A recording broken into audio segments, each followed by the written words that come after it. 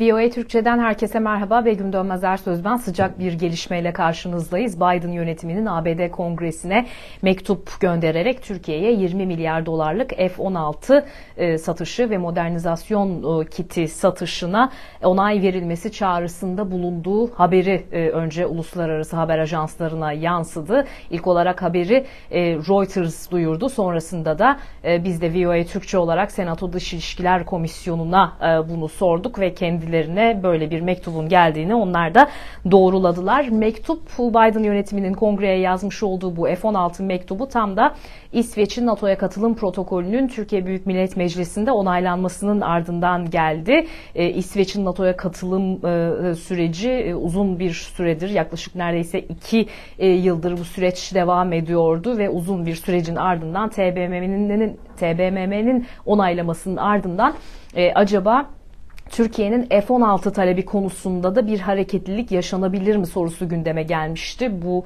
yönde ihtimallerin artması üzerine her ne kadar Biden yönetimi F-16 Türkiye'ye F-16 satışıyla İsveç'in NATO'ya katılım protokolünün onaylanması ve bu sürecin tamamlanması arasında doğrudan bir bağlantı e, kurmasa da kongre üyeleri, ABD Kongresi'nin özellikle böyle bir beklentisi vardı. İsveç'in NATO'ya katılım süreci tamamlanmadan Türkiye'ye F-16 satışına yeşil ışık yakılmayacağı yönünde mesajlar gelmişti kongreden. Dolayısıyla Biden yönetiminin ABD Kongresi'ne Türkiye'ye F-16 e, satışına onay verilmesi konusunda e, çağrıda bulunduğu bu mektup önem taşıyor. Resmi bir bildirim değil. Normalde başka ülkelere Amerika'nın silah satışı konusunda e, ABD Dışişleri Bakanlığı'nın kongreye resmi bir bildirimde bulunması gerekiyor. E, Türkiye hatırlanacağı üzere 2021 yılı Ekim ayında e, bu talepte bulunmuştu. E, dolayısıyla bundan sonraki süreçte e, Dışişleri Bakanlığı'nın kongreye resmi bir bildirimde bulunması gerekiyor ama Amerikalı yetkililerin yaptığı açıklamalardan anladığımız kadarıyla e, İsveç'in e, NATO'ya katılım protokolünün onaylanmasından Amerika memnun. Sürecin bir yandan da tamamlanmasını bekliyor. E, bu konu hafta boyunca Amerika'da neredeyse yapılan tüm e, briefinglerde gündemdeydi. Hem Beyaz Saray'daki briefinglerde hem de ABD Dışişleri Bakanlığı'nda düzenlenen briefingde gündemdeydi. Çünkü İsveç'in NATO'ya katılım sürecinin tamamlanması Biden yönetiminin önemli dış politika önceliklerinden bir tanesi. Rusya'nın Ukrayna işgalinde Şubat ayında neredeyse iki yıl yıl geride kalmış olacak e, ve hem e, İsveç hem de Finlandiya Rusya'nın Ukrayna'yı işgalinin ardından bir politika değişikliğiyle NATO'ya üyelik başvurusunda bulunmuştu.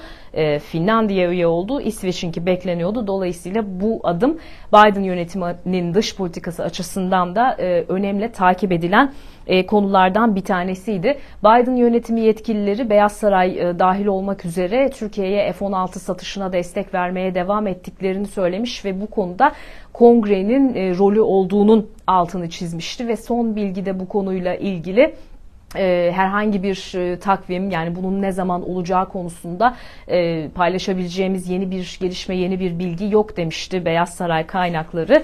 E, dolayısıyla şimdi Biden yönetiminden e, kongreye e, giden bu mektup bu açıdan e, önem taşıyor. Şimdi tabii e, İsveç'in NATO'ya katılımı e, sürecinde bir yandan da gözler e, Macaristan'da. Çünkü Türkiye Türkiye Büyük Millet Meclisi bunu onayladıktan sonra Cumhurbaşkanı Erdoğan'ın imzası bekleniyor ki Cumhurbaşkanı Erdoğan da günler içerisinde bunu imzalayacağını söylemişti. Onun ardından işte Türkiye NATO kuralları gereğince e, İsveç'in NATO'ya katılım protokolüne ilişkin nihai e, belgeyi meclis e, onayı ve Cumhurbaşkanı Erdoğan'ın imzasından sonra e, Washington'a gönderecek ve sonrasında işte Macaristan'ın artık onayı beklenecek. Her ne kadar Macaristan e, İsveç'in NATO'ya katılım protokolüne e, onay veren son ülke olma niyetinde olmadığını belirtmiş e, olsa da e, takvim bu şekilde işledi. Çünkü Macaristan'da parlamento Şubat ayının ortasına kadar